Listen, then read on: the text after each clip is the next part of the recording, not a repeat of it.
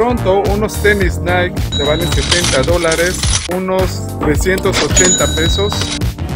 En Irlanda, unos tenis Nike te valen 57 euros, aproximadamente unos 1.300 pesos mexicanos. En Toronto, el iPhone X te vale 1.400 dólares canadienses, unos 19.800 pesos. Aquí en Dublín, el mismo iPhone te vale 1.100 euros, unos 24 mil pesos mexicanos. ¿Qué onda, Cuyito de Monte? Espero que se encuentren bien. Yo soy muy, muy, muy feliz por dos razones. La primera es que conseguí un mango. Tenía rato que no comía un mango. Y la segunda es que estoy haciendo este video, otro videito más. Y en ese video vamos a hablar precisamente de los precios. Vamos a comparar precios entre Canadá y Dublín en Irlanda. Vamos a ver dónde es más caro. Solamente repito, les cuento que la moneda aquí en Canadá es el dólar canadiense y en Irlanda la moneda es el euro. Entonces vamos a comparar los precios ya. Bueno, la Coca-Cola chica aquí en Irlanda te vale un euro con 35 centavos, aproximadamente unos 32 pesos. En Toronto, una coca te vale 1,50, que son 21 pesos mexicanos. Aquí en Irlanda, amigo, la Pepsi de 2 litros te vale 3 euros, aproximadamente 66 pesos.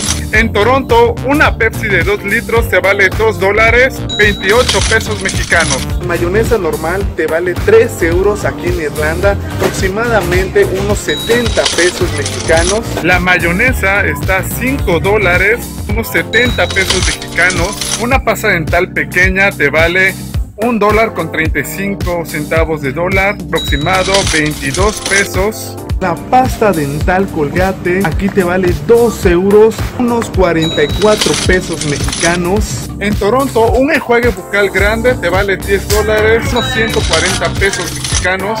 El Listerine pequeño aquí te vale unos 5 euros. Estamos hablando aproximadamente de unos 120 pesos mexicanos. En Toronto, el shampoo Head and Shoulder, unos 8 dólares canadienses, unos 140 pesos mexicanos. Y en Irlanda, shampoo Head and Shoulder te vale 7 euros, aproximadamente unos 170, unos 180 pesos mexicanos. La bolsa de leche en Toronto te vale 8 dólares, unos 124 pesos mexicanos. 2 litros de leche aquí en Irlanda vale 1 euro con 45 centavos de euros, unos 36 pesos mexicanos.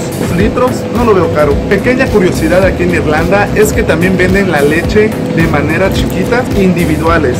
En Toronto, el jamón te vale 5 dólares, 500 gramos. El jamón aquí en Irlanda te vale 2 euros con 29, unos 55 pesos son como 300 gramos nada más. En Toronto, la bolsa de 4 aguacates te vale 10 dólares, unos 240 pesos por 4 aguacates. En Irlanda, el aguacate, 4 aguacates te vale 4 euros, aproximadamente unos 92 pesos mexicanos, 4 aguacates. Unas sabritas grandes te valen 3 dólares, 48 pesos mexicanos. Traté de buscar Doritos, sin embargo fue imposible.